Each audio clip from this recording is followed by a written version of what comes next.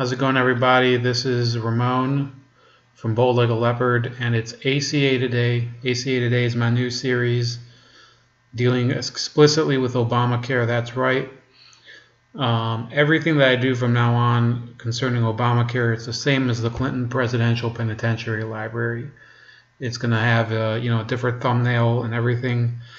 Um, I think it's important enough for me uh, lot you might not care at all, and that's fine. But there's a lot of misinformation, disinformation going on right now about the Affordable Care Act, Obamacare.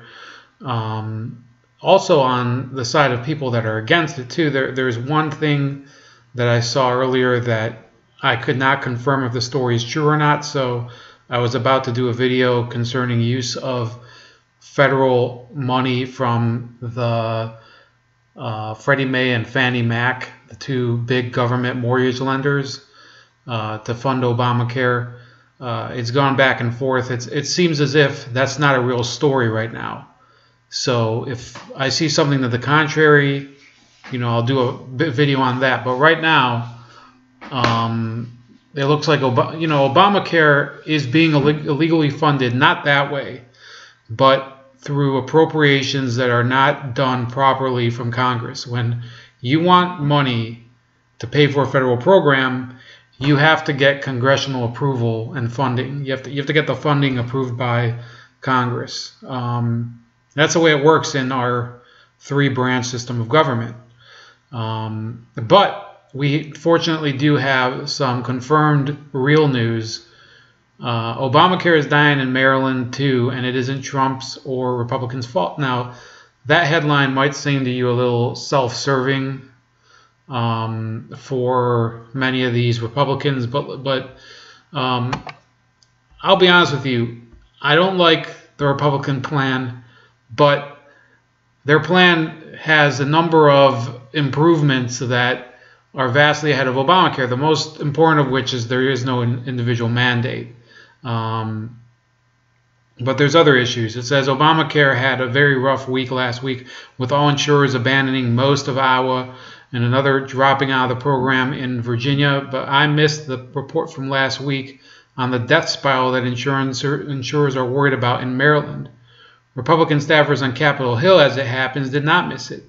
The largest insurer in, middle, in the Mid Atlantic region, um, CareFirst Blue Cross Blue Shield, has requested permission to raise its premiums by large double-digit percentages, and their CEO had some words with the Washington Post's Wonk blog that demonstrate this is due to the law's features, not the bugs related to Republicans potentially changing it.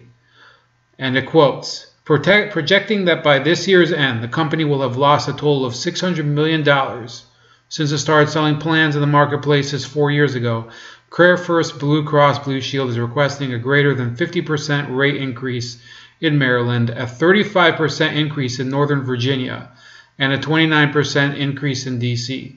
So I'm going to give a little input on that in a second. He continues, what we're seeing is greater sickness levels.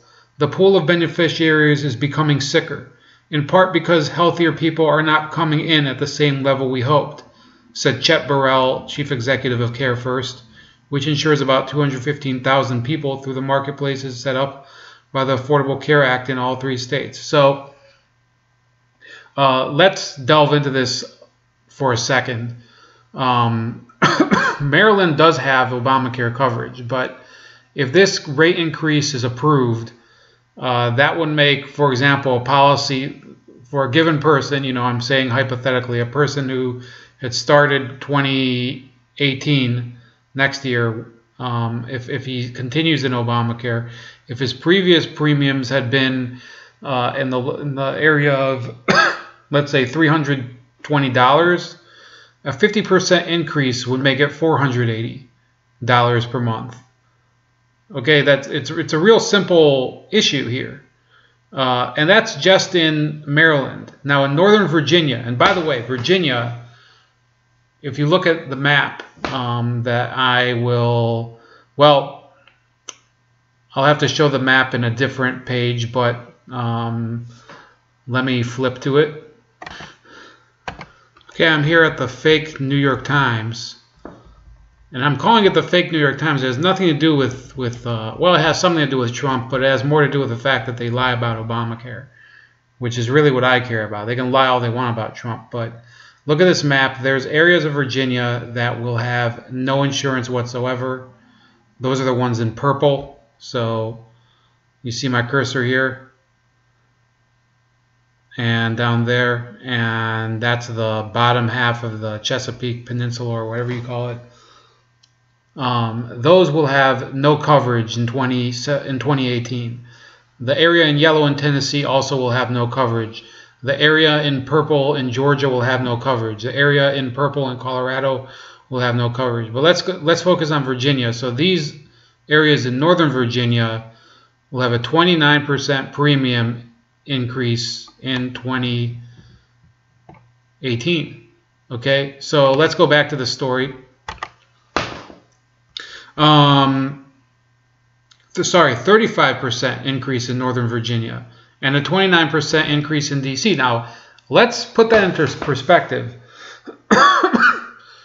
okay, Maryland, which has a, a very large poverty rate uh, in the Baltimore area, you're going to have 50% rate increase. So who, who exactly can afford this shit insurance, okay? And I'm trying not to curse as much because this is sort of the flagship right now of everything that I do.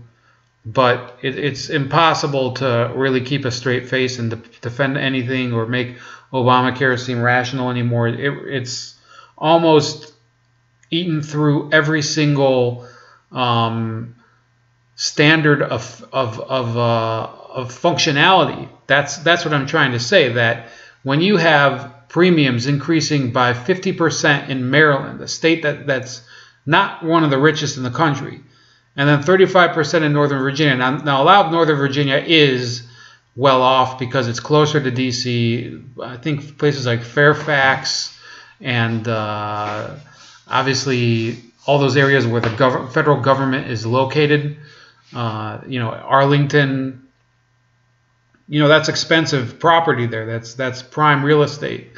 Um, but you have to remember too, the other zone was DC, which has a 29% increase. DC has a very high poverty rates. So let's put this into perspective. Obamacare, a policy that was meant to cover pre-existing conditions for patients of the middle class is now being priced out of middle class uh, affordability. And for that matter, we're talking about states where the middle class is fragile in any case. There, there's very little um, increase in, in manufacturing jobs in Virginia. Certainly not in D.C. I, I actually read that D.C. has one of the worst um, non one of the worst industrial uh, activity levels in the country. It's, there's almost no industry in, in DC. So if you're not working for the government, you may not even be working. That's for DC. Um, and then the second paragraph, he says, what we're seeing is greater sickness levels. The pool of beneficiaries is becoming sicker, in part because healthier people are not coming in at the same level we hoped. Um, so let me make this clear. As long as these insurance plans are being mainly subscribed to by people that are filing claims and jacking up the premiums because they're being covered, the, you know, the, the the more the insurance company has to shell out, the more they're going to bump up the price for everybody else. So this concern that um, risk pools, the, the, the more insure, the more hazardous insurance that the Republicans are proposing, the idea that that is a horrible initiative. Um, look, th- then Obamacare is the same thing. It's the same thing at this point because you're not seeing healthy people by Obamacare at all. So at this point, Obamacare is it is a risk pool. Okay. Um, What's what's a advantage with the new um, the the new uh, what's it called American Healthcare Act, whatever you call it. The the advantage, which I'd say is not what I would go for anyway, but it's still a leg up on the Affordable Care Act, is that you could have um, certain new configurations of plans that cover less, you know, cheap plans, discount plans. And, you know, in reality, what, what should they do? They should get rid of all of these regulations anyway. If people don't want to be covered for certain procedures, there's no reason to require them to be covered. It's it's um, uh, it's it's really overreaching the bounds of what the federal government is supposed to do. Okay, um, this article continues. This is in the Washington Examiner. So until now, they were quoting the Washington Post, but it says you might almost say that this, the exact same, the same exact thing causing all the recent market exits by insurers, is exactly what Obamacare's opponents warned about. Because it is, unless you make little enough to be eligible for a large subsidy, but too much for Medicaid or get insurance through work, your monthly premium on the individual market may soon resemble a rent payment in a lower cost part of America on the order of $350 to $700 per month, according to the Post. In 2013, before Obamacare, my individual market plan with a $2,700 deductible cost me $62 a month. So I'm not going to go and say that this guy is correct because uh, you, you can't say that the insurance market would have stayed the same anyway. Healthcare costs have been going up. Obamacare is only part of the problem. And I, I've said that before. I hate Obamacare. I think it's one of the worst. It is the worst policy of my lifetime enacted by the federal government. It's because it's just unsustainable. It is a lie from head to toe, uh, uh, virtually a, a Ponzi scheme that was perpetrated on the American public over eight years. I hate Obamacare, I, but I'm not claiming that Obamacare is the only problem. There's plenty of other issues with the way insurance companies behave uh, uh, with regard to the consumer, with regards to the way that doctors are, uh, you know, they have to pay for this malpractice insurance. Uh, that that has a, everything that you add to the cost of healthcare. Look, there's these um, there's a tax on medical devices. That adds to the overhead cost. Everything that happens gets passed on to the consumer. Everything that prevents, everything that comes in between scalpel and skin is a detriment to the healthcare consumer, the patient. Okay, and and people keep saying, "Oh, why are you so callous? Why are you why are you talking about it in capitalistic terms? Isn't healthcare a, a human right?" No, I don't believe it's a human right. My mom was a nurse for, I believe, 25 years. I'm not sure exactly because I don't remember when she started. I know she ended in something like 2002. She was not able to keep doing it. Uh, I don't believe that anybody who works in the medical professions is required to serve anybody. It's it's not a it's not a human right. Uh, Dr. Rand Paul said it very well. He said that nobody's entitled to, to the fruit of his labor just because of who they are. And I agree with him because I saw these healthcare professionals are often investing 12 hour shifts. Uh, in, in doctors' cases, 84 hour shifts. Or, yeah, it's 84 hour shifts. You cannot convince me, and I'm not a fan of doctors. I don't like going to doctors, but you cannot convince me that these guys are doing everything out of the out of greed that they're these disgusting hedonists and that's why they go into medicine and I've, I've heard people say it to me and honestly i think that those people should maybe figure out their own way to heal other people because obviously they're torn up inside themselves um, and this guy continues and try as you might you can't blame CareFirst's four-year, $600 million loss in Obamacare's exchanges on the current presidential administration. The Republican majority Congress that emerged after Obamacare passed and and in the Senate took effect took effect, nor on Maryland state government being insufficiently enthusiastic about implementing Obamacare. To address yet another commonly cited excuse, these rate increase requests were made on the assumption that CareFirst is going to be partially bailed out by federal taxpayers under Obamacare's Risk Corridor program. Republicans have tried to prevent that bailout, but it remains a matter of controversy that's still bouncing around in the courts. If not for the assumed bailout, or if the bailout doesn't come through, the requests for premium hikes could get even higher, CareFirst CEO Chet Burrell told the Post. So these risk corridors, and it's becoming, you know, this is this is a term. I'll be honest with you, I had no, I didn't have any clue how this was connected to it. For me, risk corridors was kind of um, this new term that people are throwing out to deflect, and it is okay because what risk corridors is really referring to is that once Obamacare exceeds its budget ceiling, the federal government, in effect, takes more money out of other funds and invests it in uh, bumping up the subsidy for Obamacare. So that they have a subsidy of only so much. Once the costs exceed that subsidy, they have to do these so-called risk corridors, which in reality, in congressional terms, they're called CSRs or yeah, CSRs, cost share reductions. And those are that's exactly what I've been saying. If you watch any of my other videos on Obamacare, okay, you will know that cost share reductions are payments that the Obama administration was taking from the Treasury illegally without congressional support, without congressional approval, in order to bail out Obamacare. So they're illegal now. They need congressional approval. If the president does not get congressional approval, then they they don't count. Now, Democrats are now pressuring the Republicans to drop a lawsuit that they filed that they won.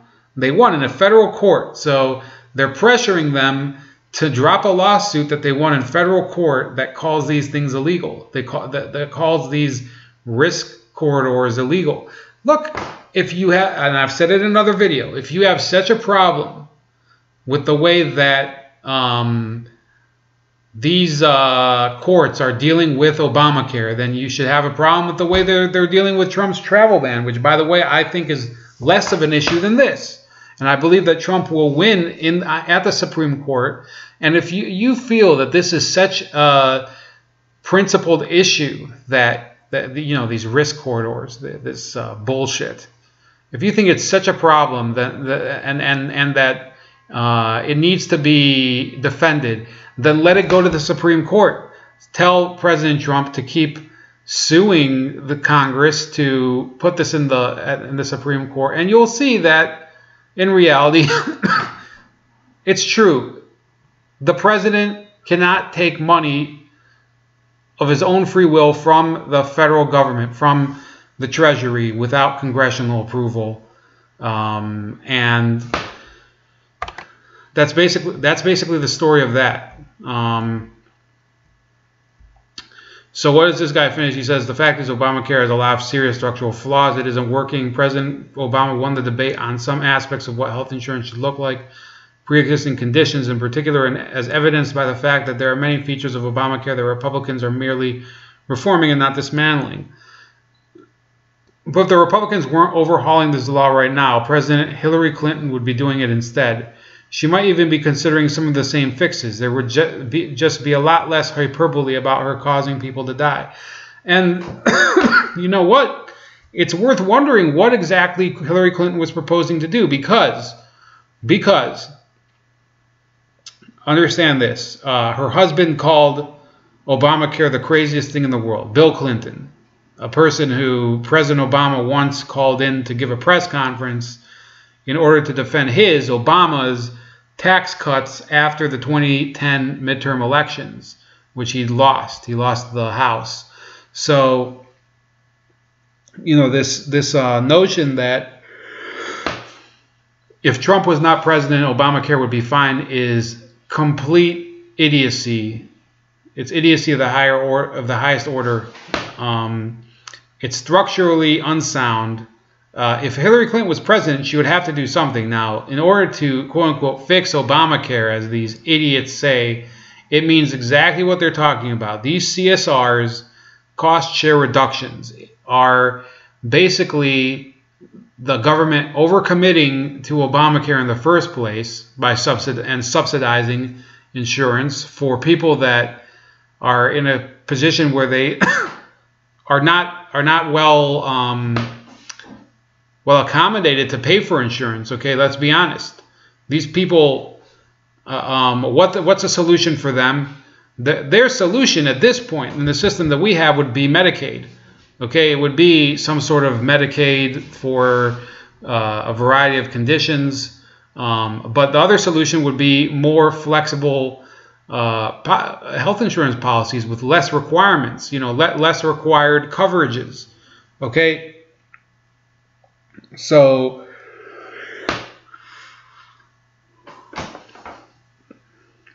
so, so look, Obamacare is dying, and the Democrats are in denial about it, and the Republicans won't go out there and tell the truth, the full truth, that they allowed this monstrosity to occur, and they, they didn't. That, what should have really happened was that progressives and conservatives should have gotten together and really, really hammered Obama over it. But because neither side wanted to really criticize him, and they all wanted to give him a chance. And the Republicans said, you know, we're not going to vote for it and whatever. Now that wasn't that was they needed the progressives to come out and say, look, um, this is bullshit. You're basically giving corporate welfare. We want single payer, is what they would say. Is what they would say, not me, not me. But um, they were not consistent enough. They felt insecure enough that they would be called racists that they held their tongues. And, and that's how we have what we have today. So, look, I blame a lot of progressives, not all of them. I think some progressives did call him out and say that he's full of shit and that they wanted single payer health care, which is, you know, I think that's the principled position, even if I, it's wrong, um, in my opinion. Um, but a lot of these progressives pretty much uh, pussied out Bernie Sanders, in fact, pussied out for a long time. He did he did vote in favor of Obamacare, by the way. All those lies that Hillary Clinton spread about him. Uh, yes, he's correct. She did lie. He did vote for Obamacare, which means that he's an asshole. So anyway, this is Ramon, um, bold like a leopard, and this is ACA today. So if you live in a state where there's news about Obamacare that I haven't covered, send me send me a link or uh, contact me. You can um, I, I, will put the Twitter or the Facebook link below and let me know because we have to keep this moving. We can't let the Democrats uh, just stonewall the popular will. Obamacare must die. It doesn't matter what happens um, with these Democrats and Republicans getting, you know, it does matter that the Democrats don't win control of Congress. It's, but, you know, the Republicans keeping control, as we've seen, almost means nothing. So what really matters is that we put their feet to the fire, and then maybe finally, at some point, we can start talking about, you know, reforming all of our other policies relating to healthcare. So this, that's it. This is Ramon. This is Bold Like a Leopard. ACA Today. Tune in, listen up, and fuck off.